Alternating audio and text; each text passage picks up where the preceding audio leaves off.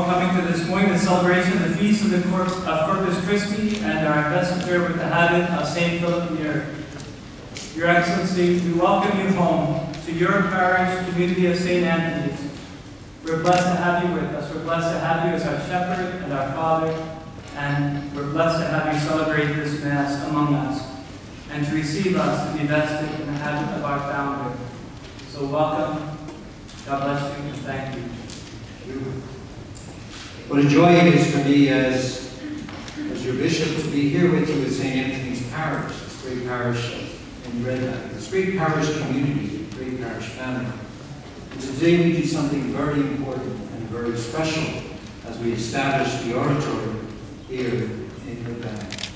And so it's a privilege for me really to be able to be here to celebrate with someone whom I know very well.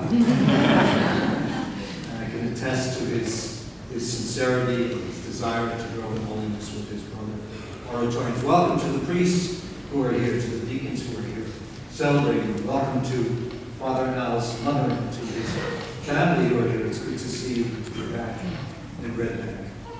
To prepare ourselves then to celebrate the sacred mysteries together, let us call to mind our sins.